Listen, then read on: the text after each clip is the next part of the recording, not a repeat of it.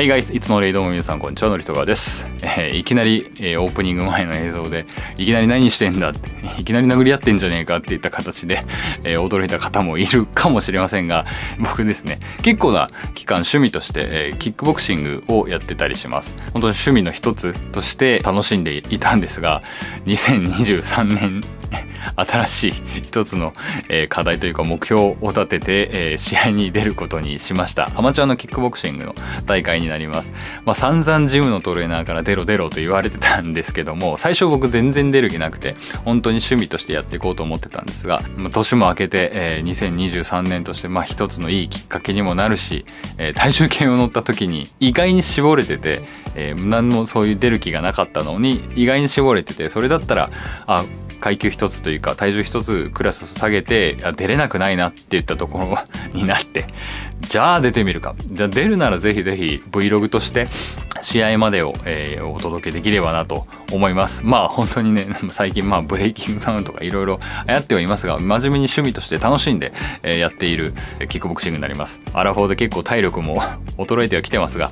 えー、いいおっさんのチャレンジだと思ってぜひぜひもしご興味があればもう最後までこのシリーズを 見ていただければなと思います。それでは、えー、練習風景を見ていってください。ここが僕が通っている。キックボクシングのジム。FFF です、えー、市川の駅から近いところにあるんですけども。いつも練習してます。まあぼちぼちここを通い始めて結構経つんですけど試合に向けて今日も頑張っていきたいと思います。トレーナーの中島さんです。速攻ふざけて。今回ジムから何人ですか？出るのジムから何人ですか？8名。8名。全員の勝率は？あかんね 俺の勝率は？ああどうだろうね。うん飲まれなかったら普通に勝つ多分あれですよね。ワンパン食らった時にちゃんと対処できるかですよね、うん、ワンパンマンが来た時に。ワンパンマンだけ。ででもう崩れちゃったら終わりみたいな感じですよね、うん、でも多分大丈夫。そこだけかなって思うんですけど、まあ、C クラスだから一回一回そのもしそこでバチンってもらってポイント取られても一回そこでリセットされてってでまた始まるっていうのなんでそのワンパンもらって崩れてそのままなだれ込まれて KO っていうのは基本的にないんで、はい、もう全然あのまあその1ポイント取られた取られちゃったねでそこで気持ちを切り替え一回一回やれば多分普通にね。もう勝つでしょ。減量さえクリアすれば。そう。ね もう減量しっかりやってあとその減量で出力が落ちたりそうですねそこスタミナが落ちたりとかしなければまあ言ってでも2分だから1ラウンドだから1ラウンドだから。何とでもなるでしょ。なりますよ。もう思いっきりぶっ込んであの格闘技しようとキックボクシングしなくていい。もう喧嘩すればいいから。喧嘩したらね性格悪いところいっぱい出てくるんで。そしたら勝てると思う。そこはね。嫌なことすればいい。そこはあの太鼓判を。そうそうそうそう大丈夫大丈夫僕が教えてるからみんな性格悪くなると思うんで大丈夫です。いけるいける。まあ、よ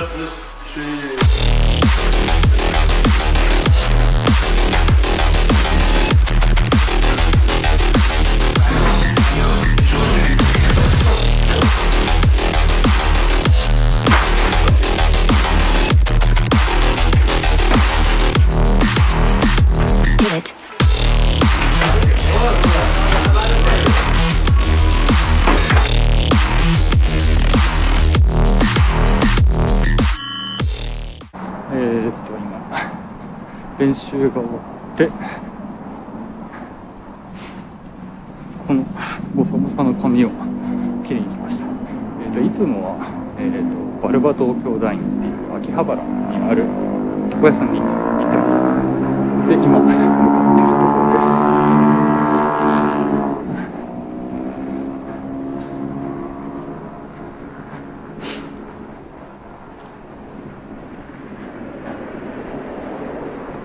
いやマジで練習疲れました。えっ、とスパーリングを3本4本ぐらいやってみっちり練習した感じになるんですけどえっ、と階級が今のところ僕はえっ、ー、と普段の体重が74ぐらいでなんですけどそれを今65まで落として出る予定です。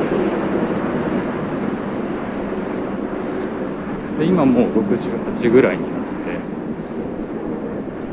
て絶賛減量中。きついマジで。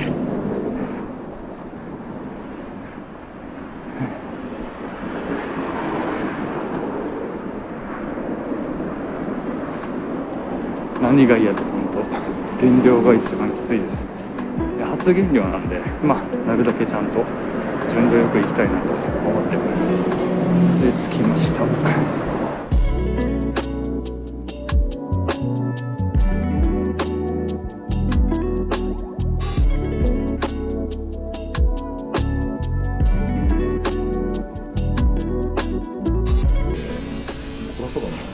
うございます。ありがとうございます。どうぞありがとうございます。髪切ってさっぱりしましたいい感じですいつも小関さんに栄一郎さんに切ってもらってます